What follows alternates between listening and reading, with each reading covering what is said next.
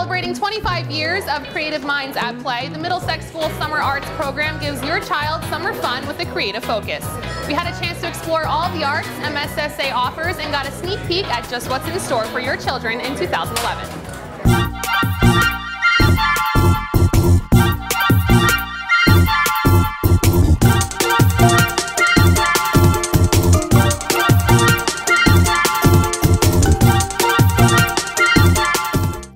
All right, so here we are in historical Concord, Massachusetts at the Middlesex School, which was founded in 1901 to talk about the Middlesex School Summer Arts Program, which was founded 25 years ago in 1986 right here at Middlesex on our campus. I love the teachers. They're really nice and they make it simple and easy for you to learn how to swim or to make arts and crafts. We offer a full range of arts programs. We have fine and visual arts, so you can take painting, drawing, oil painting, watercolor, uh, ceramics, precious metal clay, uh, woodworking. We also, uh, jewelry making, digital photography. We also have a full range of performing arts. We have dance program that you, we cover all the different dance mediums. We have jazz, we have contemporary, we have hip hop, of course we have hip hop.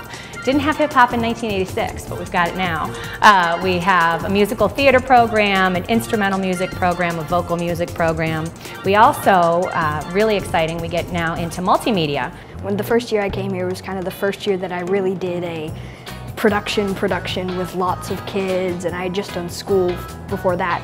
So it was really like a new awakening for me and that's how I, and I really love it now. You know, we're really conveniently located right here in Concord. We're just a few minutes from Concord Center, which is easily accessed by Route 2, 128, 495. You can download registration forms online and send them into the office. You can always call the office and we're happy to talk to you more about MSSA uh, and how your child might have a great experience.